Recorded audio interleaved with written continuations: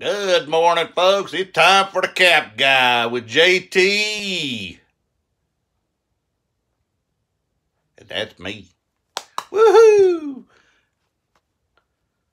Hey, good morning, folks. It's time to get to it. I'm going to show you what I sold. Wait a minute, wait a minute. Whoa, it's my show. You didn't say the Cap Guy. Well, we are a pretty good team. You know, I mean, uh, you know, kind of like, uh, what kind of team? Oh, you know, like, uh, McMahon and Carson, or Burns and Allen, or maybe Felix and Oscar, Bert and Ernie, uh, Laverne and Shirley. Okay, okay. We ain't that kind of team. Okay. All right. Well, good morning, folks. The cap guy here without a cap. Uh, think I'll steal his today. Maybe.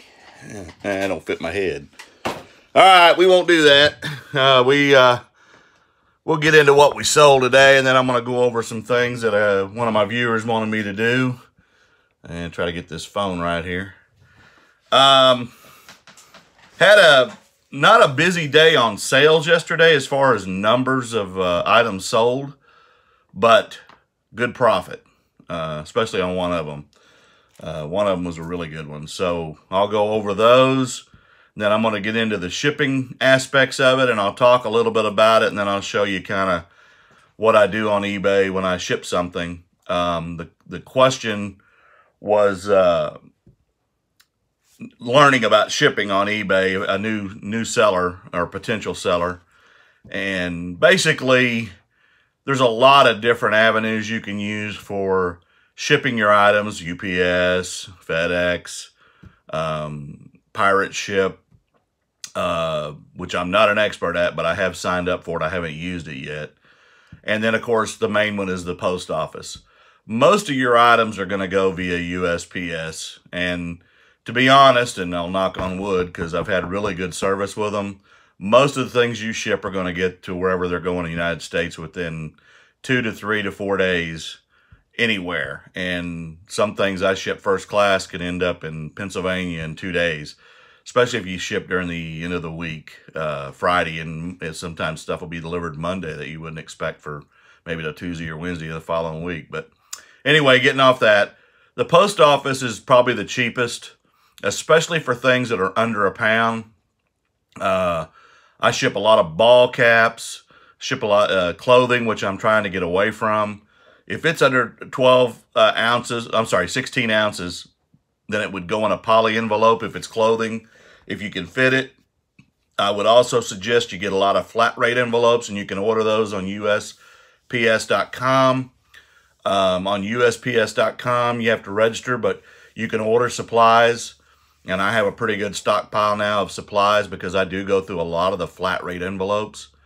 Typically, if you go to the post office and ship a flat rate envelope, which is about a 12 by 10 envelope, uh, but it's padded and they're free. That's the nice thing. You don't have to worry about paying for those supplies. Um, it's $8 if you go to the post office to ship it currently. But when you're using eBay, from here, my discount is $6.94 for that same envelope. So that's the cost of it. And depending on whether you're doing free shipping or whether you're having the customer pay for the shipping, you want to get a, uh, a good idea what it weighs. But I get uh, jumpsuits. Um, I get some small jackets. I get hoodies, things like that. And then all uh, jeans. I fold those up and get them in flat rate envelopes because typically jeans weigh a pound and a half. And if you ship those outside of a padded envelope, you're going to pay eight, nine, ten, eleven dollars for those things. So you definitely want to do that. The first thing you want to do when you decide to start shipping is get a scale. You can get a good small scale on Amazon or eBay or even at Walmart for $25 or less. Um, if you want to pay up a little bit and you're going to do a lot of shipping, then I would suggest getting one that has a rating capacity of at least 50 pounds. Um, I bought one not too long ago for 30 some odd dollars, and I'll show that to you in a few minutes. But it's an electronic digital scale, and um, it, it does the job. You want to weigh your things prior to listing them so you know once you've done it for a while, you'll have an idea. A cap weighs about three to five ounces. Um, T-shirts are typically around eight to 10. Uh, if it's a heavy embroidered uh, shirt, it may go to 12. Jerseys are in that same range. Um, things like that. Jeans, again, most jeans are about a pound and a half. And uh, again, I definitely go flat rate envelope. Um, order uh, number seven boxes from the USPS as well. Those are uh, 12 by 12 by 8 boxes, and you can get a lot of good stuff in there as well. And it, But it does go by weight, and all things go by weight and dimensions. Um, you want to, if you if they're going to pay you, say, you know, 20 $25 to ship something and you can get it in a medium box uh, because it weighs a lot, use the uh, the flat rate medium uh, USPS box. It's it's about 1280 1294 right now, flat rate, and uh, that you can get up to 70 pounds if you can get it in that box. Um, so so those are some of the things, the, the products that you would use mainly with USPS. Stay away from some of the other priority boxes uh, because uh, some of them are flat rate pretty big. You can try the regional A and Bs, um, but you'll have to look at the rates when you're on the shipping, and I'll show you the shipping in a moment. Um, I don't think I have anything currently to ship, but I will try to show you there. Um, again, the post office, get your own brown boxes as well, get some different sizes. I go to Dollar General, and on the side of the building, they have uh, carts that they keep outside. And when the weather's nice and they got a bunch of them, I just drive back there and grab them myself because they don't crush their boxes. They do break them down. But you want to keep an inventory of them, um, and they're free. You want to get free boxes. You don't want to be paying for things like that um, when you when you don't have to. And those would not be necessarily priority, but they could go priority. Um, if they go over 16 ounces, it's going to go to priority. Uh, keep in mind when you're shipping, if you're shipping perfumes, it has to go parcel post, and that's going to cost more than if you just shipped it first class, but it's because it contains alcohol in it. Um, trying to think of other things. Uh, you definitely want tape and buy it in bulk. You want poly bags if you're going to ship clothing. Uh, you definitely want a numbering system or a lettering system so you know where your inventory is. As I said in my video yesterday, I have just shy of 2,300 listings on eBay currently. And a lot of it is clothing, but I'm uh, starting to move away from it because unless it's high end, the profit margins just aren't there. Um, keep look for hard goods. Look for old vintage stock, some brand new stuff, some electronics if you can make sure it works. Um, trying to think some of the other things I've sold. Well, we'll go into some of the things I sold and you get an idea. I do sell ball caps. There's not a huge margin in those unless you can get them really cheap for like a quarter, or 50 cents or less. I get a lot of them at the Goodwill bins and I calculate that out to about 18 cents a cap based on three or four ounces. Um, so you can get a lot of them cheap, but I do have hundreds of them and I do sell them, and I haven't made as much as $50 off of a ball cap.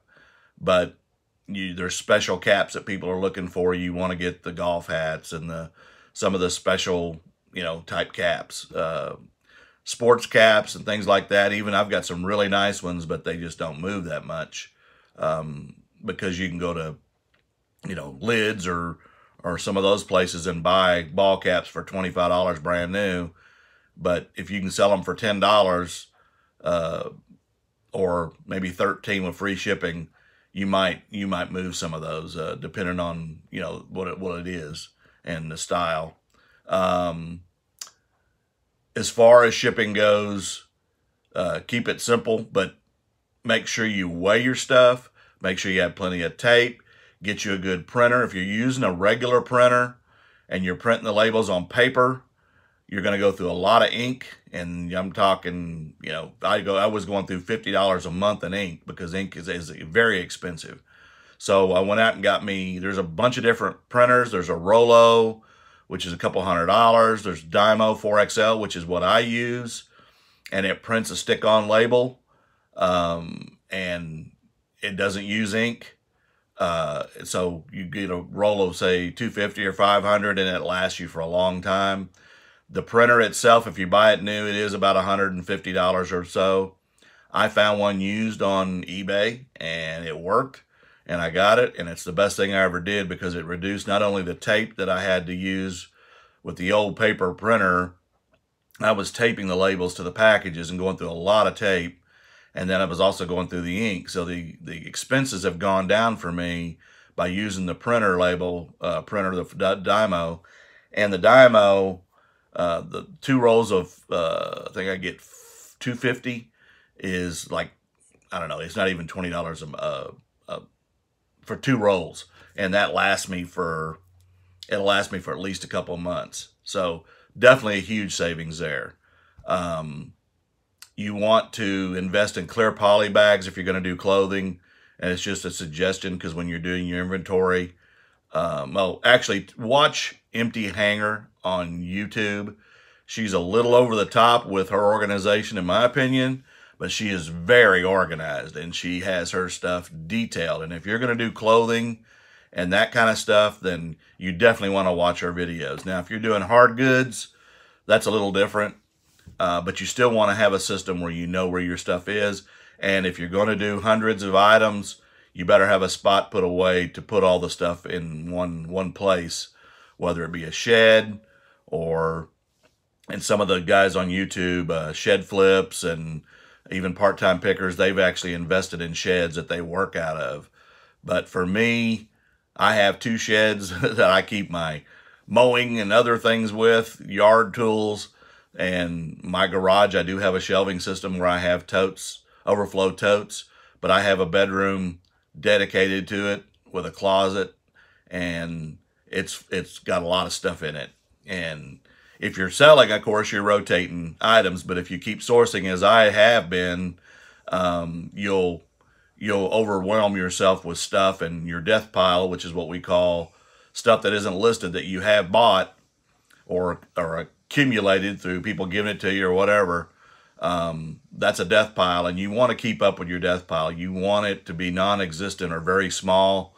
Um, work on uh, listing the stuff as you bring it into the house. Take the time. If you bring in 20 items, you need to have 20 listings that day or as close to it as you can because if that death pile gets out of hand, it'll be like me where it overwhelmed me and it takes a long time and a lot of your effort and time is money. Although for me, I'm retired, it isn't as bad as if you're working and you're doing this part-time. If you're doing it part-time um, and you're taking care of kids still, which I'm not, uh, then it will. I mean, there are people that do this and work too, but the more time you got to use time management. You got to make good uh, decisions on your time and allocate it. Uh, one of the things I will say on shipping is, and one of the things I'm rated very highly on is I ship not only in one day, sometimes I'll ship same day. I sold something yesterday morning while I was making my video. I went ahead and got it ready, and because I hadn't been to the post office yet, I took it with me. So he got same day service shipping out of me. Now, he paid me a good penny for what I'm going to show you in a few minutes, but I'm here to tell you shipping quickly is number one in my mind. Customer service, communicating, tracking my packages, making sure, and if I see that they're it's held at pickup someplace, I'm going to communicate with that customer because it, to me, customer service is important. And spending 35 years in the, tra the transportation industry, mainly with UPS, uh, I believe in customer service. I don't just say it. And I'll communicate, hey, did you know your package is still sitting at the post office after three days? I just want you to be aware it's there. Um, you know, thank you for your purchase. When they buy it, it'll ship tomorrow or it's shipping today all those things are appreciated by people because everything's just in time nowadays and customer service should not be taken lightly. I ship in one day, every day, rain or shine, one package or 20, I'm at the post office and and and that's just the way it is. Um, I believe in it. So I'm going to show y'all, I'm going to try to do something here. See if it works. No, it's not going to work. Okay. I was going to try to show you the uh, screen without me picking up my phone, but that ain't going to work. All right. So the first thing we sold yesterday, which was a good one for me, it's a Night Owl 8-channel Poseidon uh, 264 digital video recorder. It does not have the cameras, which they don't come with cameras, but as you can see, this is one of those that maybe a convenience store or somebody uses a surveillance and, and it's a, a recorder that um, has uh, eight screens. There are some that have 16 and other things. I found this at Goodwill last week uh, in the box uh, for twenty three sixty one. I bought it on a Wednesday, so I got a discount. On Wednesday, you get a 15% discount. Uh, 2361 is what I paid, and I sold it for, uh, had it for 159.95. It sells on Amazon brand new for 189. Now, this is new. It's open box, but when I opened it, it was still sealed inside. The box was a little rough, and I had to actually open, tear it up a little bit to get in the box to check it. But all the manuals, all the, I mean, the remotes, all that stuff had never been opened. So I got a great deal. Um, they sent me an offer. I had it for $159.95 plus shipping. And of course, Amazon's was 189 with free shipping. So it's about the same. Um, he sent me an offer for 110. I countered at 125 and he accepted. So I had 2361 in it. When it was all said and done, after fees and everything, I made $83 off this uh, off this digital video camera. So that was a good deal. Plus shipping. I had to really Frankenbox, and Frankenbox means we're cutting the box down to conform to the, the item in the box. Um, you want to do that and with dimensions. Uh, when I first put it in a box and it was an Amazon box, it came out to 40 something dollars. And I was like, oh no, I'm not paying 40 something dollars when he only paid me 20. Um, even though I had profit in it, I'll eat a dollar or two, but I'm not eating a bunch of money. So I had to cut the box down, uh, bubble wrap it as best I could and get it under the 16 inches on the uh, height side, or I'm sorry, the, the width side. And uh, when I did, it dropped it to 1985. So basically broke even on the shipping. But all in all, I made $83. The next one, I bought two of these last year at a yard sale. This is just a uh, windbreaker, but it's older. It's uh, by Hartwell, and it's a Lone Star Light uh, windbreaker. They were in pristine condition. I paid $5 a piece at a yard sale. It's a size 2XL. I do have one more. Um, I paid $5 and I did it. I've been trying to get rid of them for a while. Um, I had it for 18 and then I ran it. I'm running a 20% off in my store right now on mainly clothing. So I got 1440 plus shipping and that did go in a flat rate envelope. So I did make a little bit there. When it was all said and done, I only made 750 off the uh, windbreaker. The next item I bought at an estate sale, bought two of these also. I have one left. It's uh, Afghan cloth for uh, cross-stitching. And as you can see the size there, it's sealed in the package. I paid uh, $10 a piece for them on the last day of the sale because they are expensive. Um, I got $27.99 again plus shipping, and that went in a flat rate envelope as well. So when it was all said and done, I got uh, I made fourteen fifty off of it. And the last item I sold yesterday, I have another sale this morning, but I, I won't go into it. I've had this for oh since probably October. Uh, Chicago Bulls Tyson Chandler. It's a sewn, sewn meaning it has raised letters or sewn on. It's not screen printed. Uh, 3XL jersey. It's in good condition. There's no stains or anything. I've had it for 35 for a while. I've always I've had a lot of offers and I've turned them down because I have free shipping on it and I, I don't want to just, you know, take offers and this guy offered me uh, $25 for it and I turned him down. I countered back at uh, 32 and he took it. So when it was all said and done, I made 1850 off of it. Uh, after the day was over, I had four sales. And again, it's not a huge number, but I don't, I care about how many. It's it's what you made. Forty three ninety six in cost of goods, which is one of the higher days I've had in cost of goods lately. Uh, one ninety nine thirty nine in total sales dollars, and my total profit for yesterday was one twenty three fifty. So, again, it's about where I've been in the last three days on profit. Um, I'll take $123 uh, all the time uh, a day, and some days are better and some are a little bit less. I'm going to drink a sip of coffee. My Game of Thrones uh, beverage container. I love Game of Thrones. Um, I'm going to show you the printer. This is the Dymo printer. That's my little characters I keep around my desk. Dymo 4XL. Um, it's a it's a wonderful printer. It really is. I can't say enough about it, and the cost, like I said, of operating it is really really good as well. Um, I hope I helped on uh, shipping. If you have other questions, please comment below. Uh, let me know what you thought, and um, I'm here if you need me. Please like and subscribe and share my channel so I can help others. Again, I need to know what y'all want me to talk about. And um, hopefully I can keep JT out of my chair. And uh, yeah, you stay over there. And uh, I don't know why. I think he's napping already. And it's early. Um, there is a new Goodwill opening near me this morning. So I'm going to at least go in and see what, the, what it's all about. Kind of get the lay of the land but I'm going to try not to source too much. I listed some things yesterday, uh, electronics, weather radios, uh, things like that. And uh, anyway, please uh, continue to watch and, and let me know what you thought. And if you have anything you want me to work on, let me know that too. Y'all have a great day.